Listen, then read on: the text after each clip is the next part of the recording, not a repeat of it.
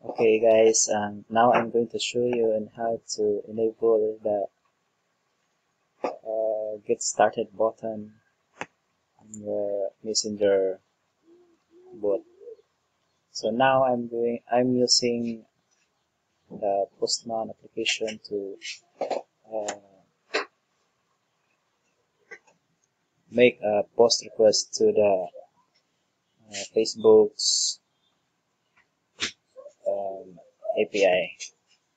So now uh, let's create a new request.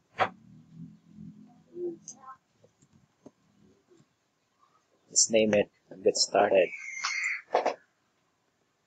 Okay, so here let's change first the request type to post and then we're going to uh, put the URL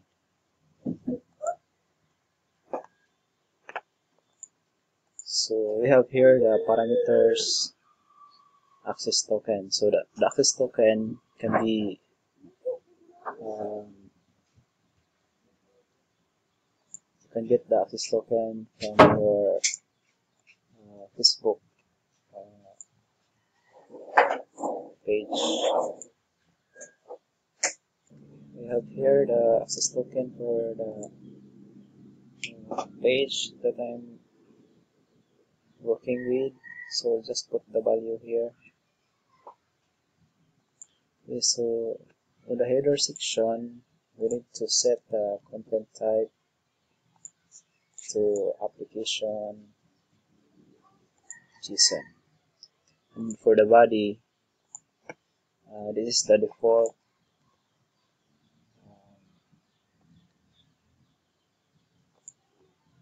JSON object that we're going to pass with, uh, together with our request. So let's um, select the raw format to just paste it. This is the default uh, JSON object. Then now let's just uh, click the send button.